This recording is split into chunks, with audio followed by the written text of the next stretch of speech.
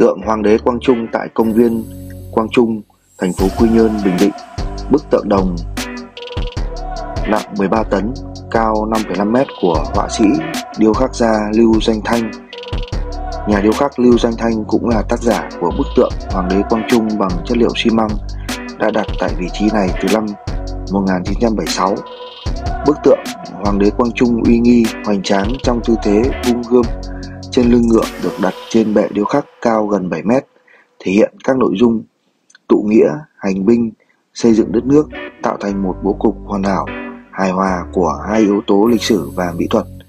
Tác phẩm kiến trúc này sẽ mang tính biểu tượng của Quy Nhơn, Bình Định, quê hương của anh hùng Nguyễn Huệ. Người anh hùng áo vải cờ đào lãnh tụ vĩ đại của phong trào nông dân Tây Sơn.